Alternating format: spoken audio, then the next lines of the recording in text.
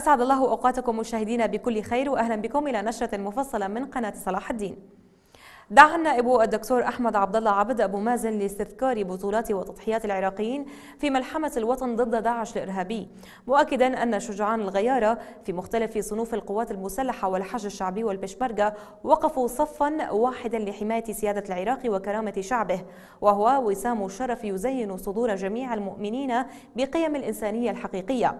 وقال أبو مازن أن أهلنا في صلاح الدين تسابقوا لاقتلاع جذور الإرهابيين الغرباء عن تقاليدهم ومتانة نسيجهم الاجتماعي مؤكدا أن الصفحة الثانية المهمة في اقتلاع جذور الإرهابيين تمثلت بخيار المصالحة المجتمعية الذي حقق نجاحات هي الأخرى استثنائية في مضامينها الوطنية.